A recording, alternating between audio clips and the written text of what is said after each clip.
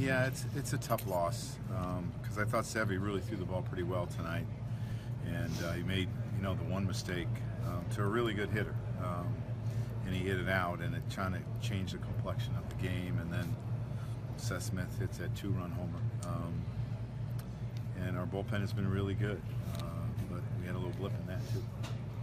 Mentioned for the most part you liked the way Severino threw Yeah. the ball. What did you like about what he was doing? I thought he moved his fastball in and out pretty well. I thought his slider was pretty good tonight. Um, to a few changeups, not not a whole lot, a few.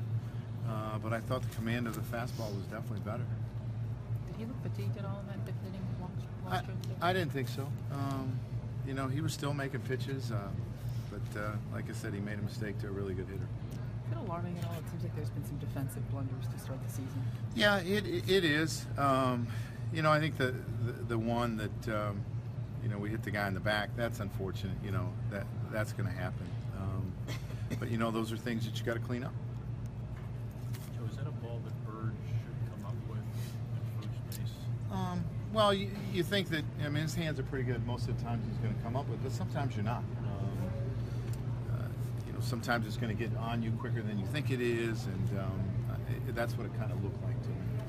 with Clip, bad location in that pitch to Seth. Yeah, uh, you know, it just seemed pretty straight. You know, Clip usually has some movement, um, but you know, he hit it out, and he hit it just far enough.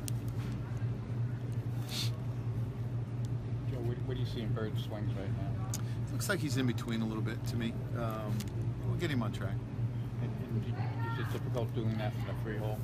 Uh, Uh, well, no. I, I mean, he's between a couple of good hitters, so um, you know, you it, it's way too early to start thinking about that. Does that home run help Gary a lot, Joe, you think? Not, it's early, but is it still Yeah. gonna help him? Well, I said before I thought he was swinging the bat pretty good. Um, he just wasn't running into a whole lot of luck. He hit some really hard ground balls lined out, uh, but I mean, you hope it does. Hope it really gets him going.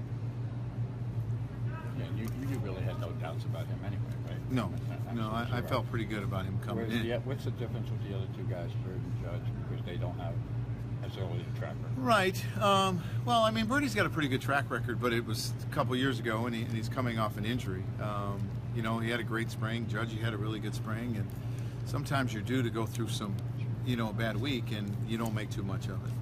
Joe, I know you've had the, the off days, but it's another starter that is to give you more than five innings. And then, I'm thinking, Well, it's something that we have to improve on, and, and a lot of times in the beginning of the season, you're not going to get much more than six anyway. Um, but it's something we definitely need to improve on.